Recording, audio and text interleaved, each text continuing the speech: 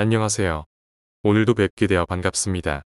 다음은 능엄경 제265강 강의 내용의 주요 개념을 정리한 것입니다. 선남자가 10가지 마음을 발현하여 완전한 마음을 이루는 과정을 설명합니다. 마음의 빛을 통해 발심주, 치지주, 수행주 등의 단계를 거치며 깨달음을 향해 나아갑니다. 강에 들어가기 전 구독과 좋아요 그리고 알림을 하시면 포교에 많은 도움이 됩니다. 그 다음에 가서는 이제 칩주가 이제 나옵니다. 이제 사면에 사면 칩주이요.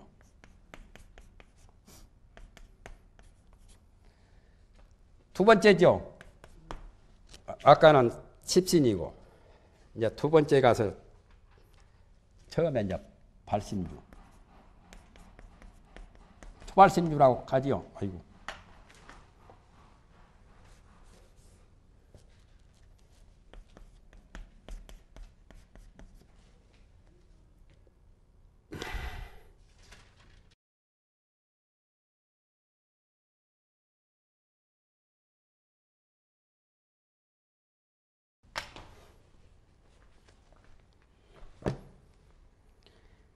이렇게 해서 열 가지 또 칩주가 나옵니다. 하암기에서는 칩주부터 나왔었죠.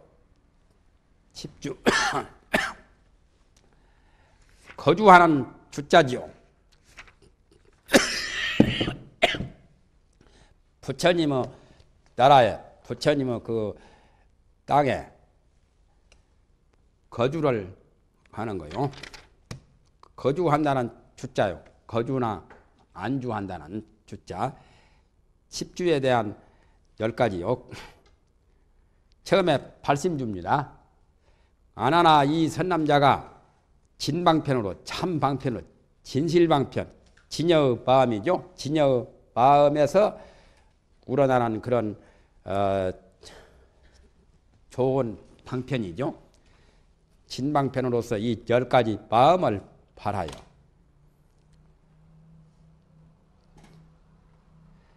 열 가지 그 묘한 마음을 바라지요. 위에서 열 가지 십신 마음이 내나 열 가지 마음 아니요.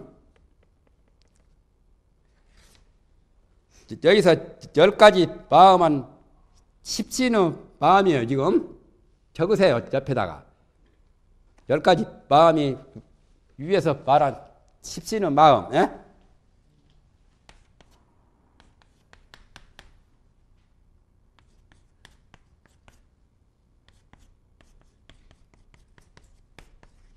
열 가지 마음, 십신, 원심이고 개심이고 모두 다 나왔잖아요. 처음에 불퇴심이고 그 열 가지 마음을 발해 가지고 심정이 발휘하여 마음 그 정이 빛을 발하여 마음 광명이 이제 나가지고 열 가지 작용이 섭입하여 열 가지 그 작용이 십신에서 우러나는 힘이죠. 성능 그런 힘이 건너 들어가서 건널 섭자 섭입 섭입한다 말이에요. 섭입이라는 것은 하나의 마음을 원만히 이루는 것을 지금 말하려고 섭입이라고 합니다. 열 가지가 뚫뚫 뭉쳐서 하나로 되는 거예요. 즉 말하면. 모으면은 흩은 것을 전부 다 통일시키지요. 흩어진 것은 모아야 되지요. 재산을 정리할 때도 다 모아놔야 정리가 되지요. 정리하는 것처럼 하는 것이 여기서 섭입이라요. 위에서 열 가지 십신의 마음을 전부 몽뚱거린단 말. 그게 하나가 하나로 이제 어, 일원화 시키는 거죠. 나라가 잘 되려면 공산 사상이고 뭐 자본 사상이고 하나로 돼야 돼요. 우리나라도 남북한이 그리고 또 여당이고 야당이고 민정당이고 뭐 민주당이고 무슨 저 통일당이고 무슨 한국당이고 다 하나가 돼야 그게 제대로 되는 거예요. 뭐 갈라져 가지고 정당 정치라고 해 가지고 파벌만 자꾸 조장하고 지역 감정만 유발시키고 그 저 국민의 그 마음에 대한 분리만 자꾸 일삼지 별로 좋은 건 아니잖아요. 열 가지 그 작용도 건너 들어가 가지고 어떻게 되냐면은 원만하게, 원만하게 한 마음을 이룬단 말이에요. 일심으로 원성을 해요. 그래야 원성실생이 되지요. 이제. 그것을 발심주라고 이름한다. 그게 바로 발심주다. 칩주 제일 첫머리가 발심주라요. 두 번째는 중음 뭐야 치지주. 치지주는 이제 어, 마음 가운데 발명하는 것이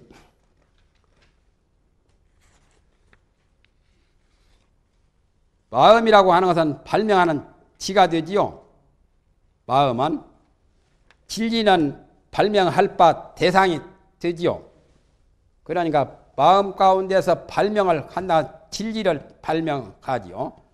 마음의 지혜를 가지고 정말한 보리의 반야를 가지고 열반의 그 진리를 발명하는 거요. 열반하고 보리하고 밑짝하고 우짝 같은 거요. 보리가 위에 뚜껑이고 열반이 밑에 것이 가지고. 그러니까 어, 하나는 보리 쪽은 동적이죠. 이건 동적인 것이 되고 열반 쪽에는 열반은 정적이라요.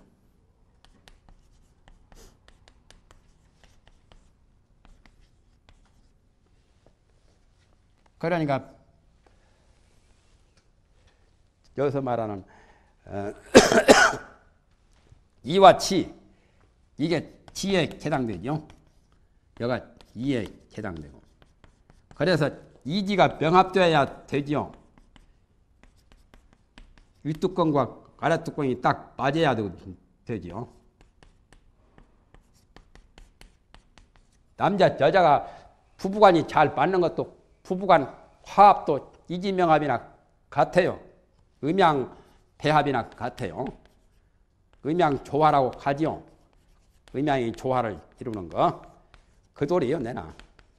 음양 조화와 같죠.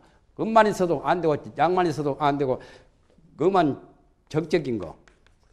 이건 동적인 거. 동정으로 본다면, 음양이 조화를 이루듯이 이지가 명합돼요. 이지 명합을 그, 그전에도 말했죠. 함계 권권이라고. 운문종에서. 하늘과 땅이, 하늘과 땅이 내나 의미함과 같은 것 아니고, 이건 동이고, 이건 정이고, 동정. 동적인 것, 정적인 것. 그래서 이건 위에 짝이죠? 아니, 요건 밑에 것이고, 요건 뚜껑 개짜죠? 요것이 밑짝, 밑이고, 이건 뚜껑이고, 뚜자만 적어놓지. 예? 걔는 뚜껑 개짜고, 요건 밑짝, 함자고, 함. 함은 옛날 예물을 담아갈 때 밑에 거, 다 위에 뚜껑 덮으잖아요. 소뚜껑처럼 소 밑짝이 있고 윗짝이 있잖아요. 석작도 그렇고 그릇이고 뭐고 다 그렇죠. 저 열차의 것이 어 이렇게 열차가 돌아가면서 화통에 그 돌아가는 것이 그 속의 것이 나왔다 들어갔다 나왔다 들어갔다 꼭저 법같이 풀무관처럼 그렇게 하면 나왔다 들어갔다 하는 게 보리 역할을 하고 그 속에 이렇게 큰 이렇게 관이 있어가지고 그게 들어갔다 나왔다 하는 열반 역할이요. 열반이나 같은 거요. 그래서 마음, 마음 가운데 동적인 요소는 동적인 치, 보리, 반야고 정적인 그 자리는 어, 진리 자리 열반이 바로.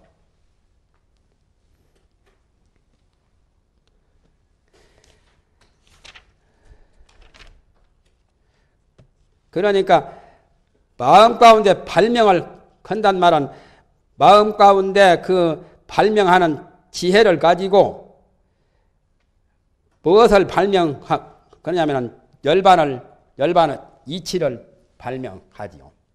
그래서 이와 치가 하나가 되는 것을 명합이라고 해요. 합치가 되는 거.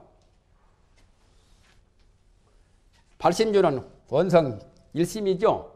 한 마음을 원성하는 게 발심주. 지금 치지주인데 그러면은 여기다 이제 적어본다면 능발명은 뭐가 되겠어요?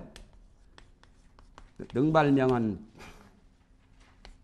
친지이고 마음 지혜 있죠. 소발명은 아이고 발명할 바 대상이죠. 소발명은 열반어 이라 이라고도 하고 경이라고도 하고 열반어 경계 대상 이나 경이나 같은 거예요. 그래서 마음 가운데 발명을 건당해선 마음 가운데 보리 열바 보리를 가지고 열반을 발명하는 거죠. 그 발명하는 역할을 하는 것은 어, 마음의 지혜가 하죠. 마음 속에는 능소를 다 가, 지고 있어요. 다른 것은 능소가 따 로따로 있지만은 마음은 능동도 하고 수동도 하고 능장 소장 아이집장을 간다고 그 전에 말했죠. 아리아식이. 그게 묘한 역할을 하는 거예요. 능장도 하고 소장도 하거든. 능장이란 말은 마음속에 천지 우주 만물을 우주 만법을 마음속에 다 저장하기도 해요.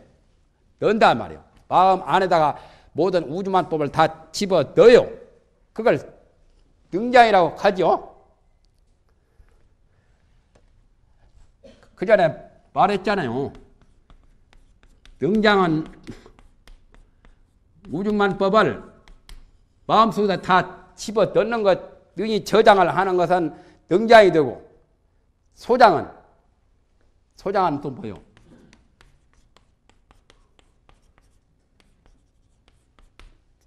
소장은 만법이죠? 만법은 소장이 되고, 마음은 일심은 능장이 되고, 마음자리는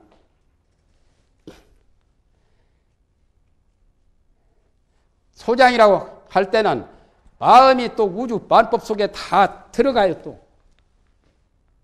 그러할 경우는 소장이라고 해요. 그러니까 마음은 여러 가지 역할을 해요. 능장 역할도 하고 소장 역할도 하고 아까 말하는 어 뭐요 발명도 하고 발명할 대상도 바로 그놈이고 소발명과 명발명이 둘인 것 같지만 마음속에 지금 둘로 이렇게 분리한 거요. 마음속에 내가 연부를 하는 거요.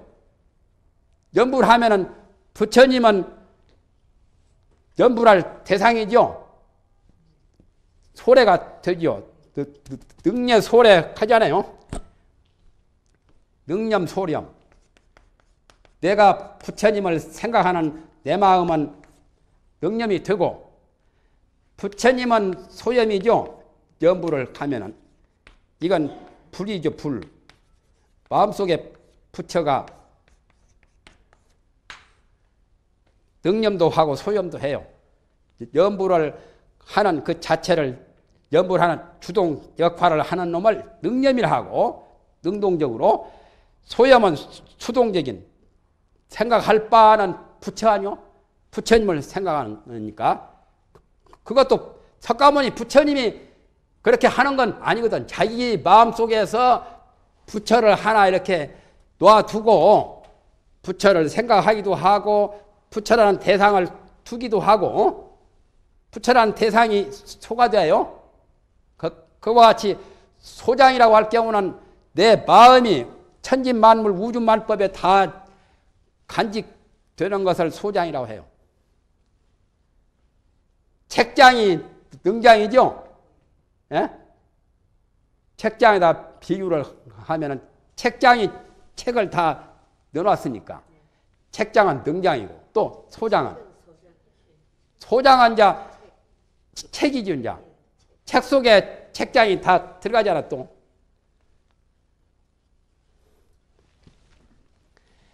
마음 가운데 발명하는 것이 청정한 유리에서 안에다 정금을 나타낸 것 같아서 순금을 나타낸 것처럼 앞에 묘한 마음으로서 그 밟아가지고 땅을 이룬단 말이에요.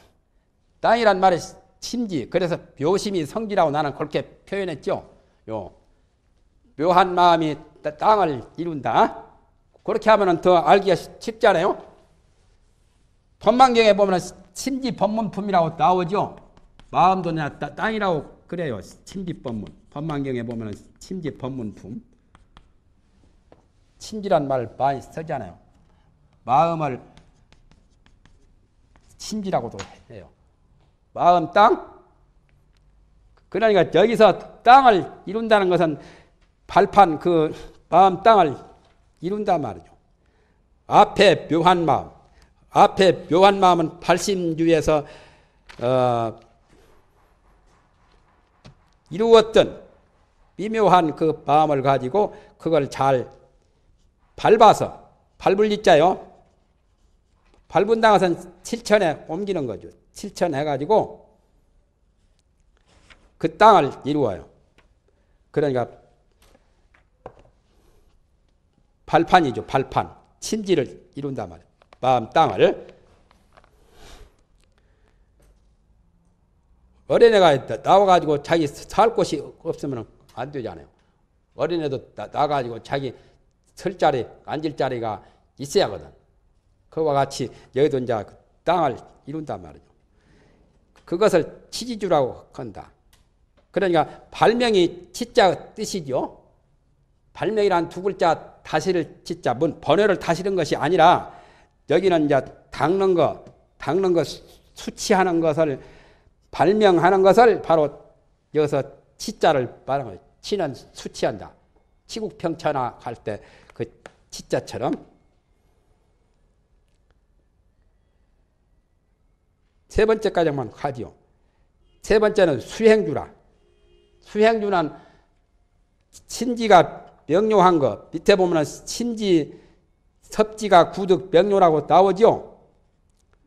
마음과 땅이 마음과 땅이라고 하는 것은 마음은 시각이 되고 지는 본각이 되지요. 발명하는 것이 시각이죠.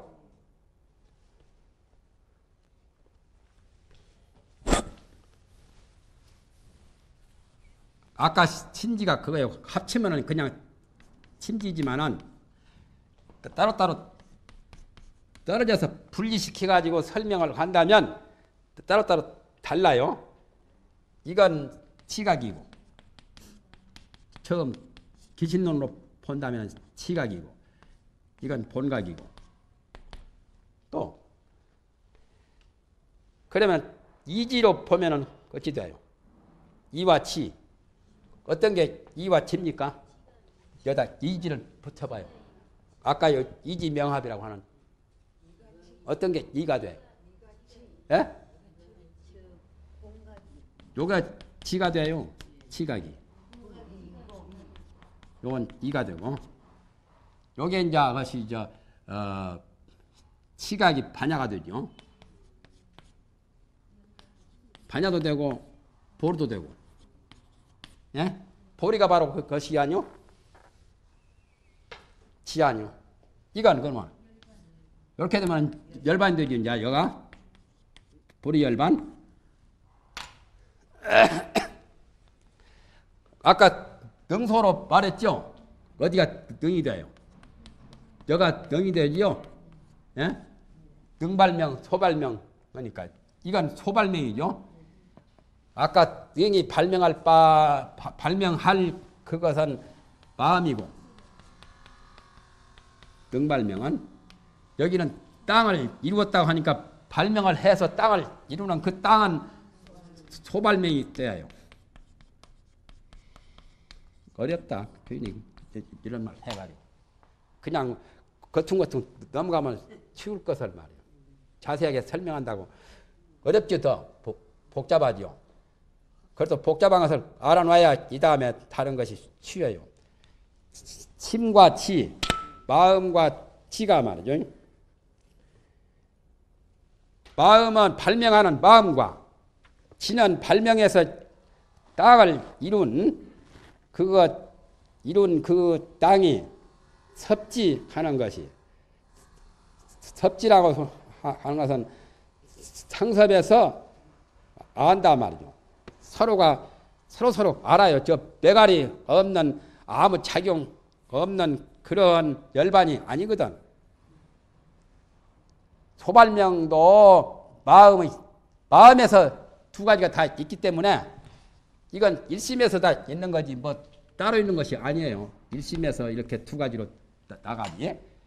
그러니까 이 지도 아는 게 있고 요 심도 아는 게 있어요. 시각도 아는 게 있고 본각도 아는 게 있잖아요. 그래서 그 서로 서로가 아는 것을 섭지라고 해요. 서로 교류해서 아는 것, 교섭해 가지고 아는 것이 함께 명료함을 얻어서 그러니까 본각과 시각, 근본 본각이나 또는 처음으로 이제 도를 깨치는 것이 시각이죠. 본래의 본성, 불성짜리는 본각이고 불성을 개발해 가지고 견성 하, 견성해서 아는 것을 시각이라고 하죠. 그것이 함께 명료함을 분명함을 얻어가지고 지방 세계 논일고 다니되 발부되 걸리는 것이 없음을 얻는 것을 수행주라고 이름한다. 유예란 말은 그 전에도 나왔죠. 걸릴 유자요. 구애를 유예라고 합니다. 구애가 없다. 걸리는 것이 없이 장애가 없이 지방 세계 마음대로 어, 참 뜻대로 산절로 물절로 뭐 걸림없이 그냥 다 다니는 거요. 그것을 수행주라고 이름한다.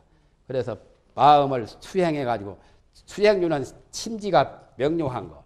침과 지가 법만경 침지품은 그냥 구분을 안 하고 침지 이 두 자가 그냥 하나의 명칭이고 여기서는 지금 침과 지로 완전히 구분해서 설명을 했었죠. 잉? 구분해서 서- 설명하면 달라요. 이것도 그래요. 여러분들이 불교 문자도 이것을 그냥 보면 지혜란 말이 통하죠. 어? 구분하면 어찌 돼요? 구분하면 또 이것도 그냥 우리가 많이 쓰지요. 인연 한 말로 쓰지만은 이것도 구분하면은 이게 체가 되고 이건 용이 돼요. 채용 관계가 있어요. 인연도 이건 종자가 되고 이것은 성장 과정하는 성장하는 여러 가지 여건이요. 여기는 타가 되죠. 연은 연은 타가 되고 조- 종도 되고 또는 보조가 되는 거고 연은 인이라고 하는 것은 자기 자신이 자체가 자가 인이고 또 종이 아니라 그 주를 이루는 거예요. 주가 되고 보조가 아니라 자기 자신이요. 이런 것은 인의 뜻이죠. 콩씨를 심으면은 콩씨가 인이고 모른가 보네요. 그 멀뚱멀뚱이 아니라 연이라고 한 것은 콩씨가 잘 자라게 그 걸음도 주고 가꾸고 비료 주고 물과 흙과 사람 인공 같은 게 다 연이라요. 그러나 일반적으로는 그냥 인연 이렇게 그냥 한 단어로 말해버리죠.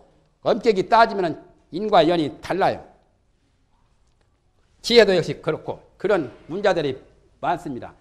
지는 마음의 본체고 해는 마음의 착용이요.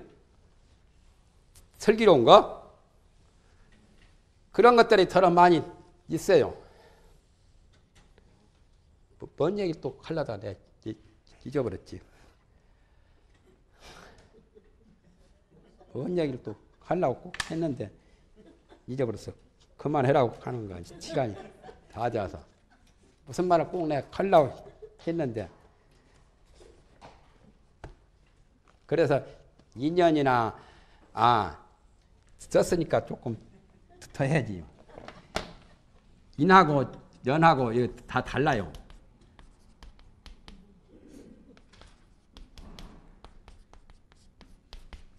이걸 세상 사람들은 인연이라는 소리로 그냥 합쳐서 이렇게 이렇게도 쓰고 또 합쳐서 인과라고 이렇게 쓰지요.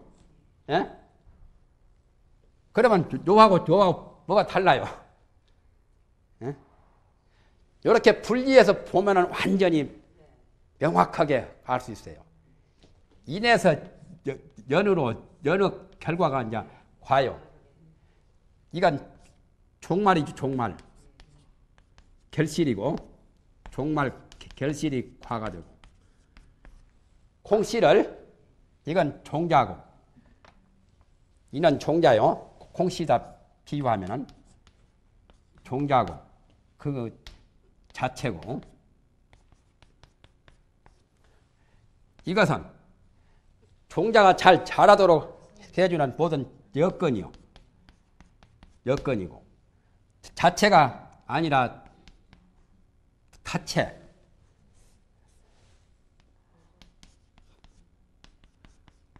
타체가 되고 여기는 여러 가지 보조해주는 보조 그게 연, 연입니다. 콩이 처음에 콩 씨앗 콩 하나 알이 인이라면 그 콩을 땅에다 심어가지고 그놈 종자 싹이 나도록 하고 그놈 잘 성장하도록 사람이 가꿔주고 비료 주고 하는 것들이 다 연이라요. 좋은 바람과 좋은 물과 좋은 태양과 또는 토지, 땅이나 모두 그것들이 연입니다. 그러니까 우리가 마음자리, 우리의 마음자리가 정인이라고 하지요. 우리의 본래의 마음자리를 정인이라 하기도 하고 본인이라 하기도 하고 이 마음을 발심을 해서 발심한 다음에 좋은 인연을 만나야죠. 선지식이나 부처님이나 보살이나 법문이나 이거 다 연이요. 우리가 공부하는 것이 불교 경전도 다 연이라요. 선지식이 법문해 주는 것도 설법도 다 연이고. 그래가지고 이제 성불을 하면은 독 깨쳐서 견성성불 하면 그 과야 이제. 콩이 성장해가지고 콩이 결실을 이제 열매가 딱 맺어서 이제 콩이 다 일단락 거둘 때 되면은 그게 과요. 그걸 줄여서 인과라고도 하고 인연이라도 하지. 원래는 따로따로요. 인하고 연하고 과하고 3단계요. 여가 처음이면 여는 중간이고 여는 종말이요. 그러면 이제 이렇게 보면 되겠네. 처음은 인이고 중간은 연이고 또 나중에 조- 종말은 종이라고 해야지. 종은 과가 되잖아요. 다르죠? 지혜도 그렇고, 예? 뭐? 보도 내나 그 같은 말이요. 과보하면은 그 과가 바로 보고 보가 바로 과보라요. 응보하고 이런 말도 하죠.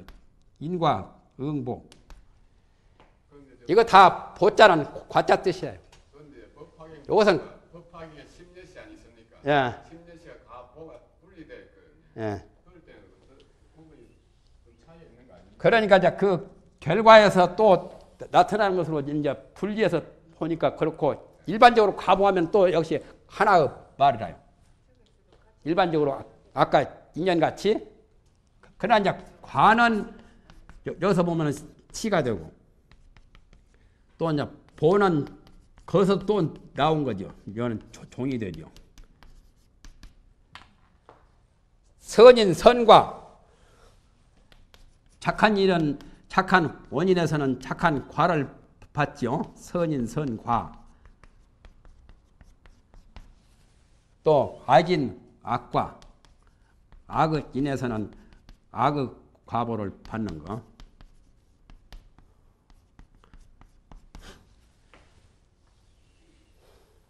그런데 이제 어, 선인의 선과의 구체적인 것이 이제 보라요. 선보. 선보도 내나 선과인데 요, 요건 조금 어, 아주 구체적인 거지요. 더 완전한 거예요. 예를 들면 대통령 된 것이 어, 과라면 대통령 된 것이 선과라면 대통령 된 것만 가지고 다 된 것은 아니죠. 그러나 대통령 되는 과정까지는 그건 과는 과 아니오? 대통령 되기 전을 보면은 과는 과거든. 그래서 대통령 노릇을 하고 대통령 그런 행세를 해서 대통령 그 결정체가 이제 이 보가 되지 이제 역할을 해가지고 역할이 성숙된 거. 그러나 일반적으로는 과보를 똑같이 보기도 해요. 분리해서 또 설명하기도 하고. 응보란 것은 그로 말미암아서 생기는 과보. 어쩌 빼먹었네. 응자를 어떻게 써요? 이렇게 써야지요. 응보. 응보도 내나 과보라요. 그 거기에 따라서 선인 선과 선인으로 말미암아 선과를 받는 게 응보도 되고 악인으로 말미암아 악과를 받는 게 응보라요. 그래서 거기에 따라서 과보가 생기는 것을 따, 따를 응자요. 가몽이라는 응자. 가몽에 따라서 그 보수를 받는 거.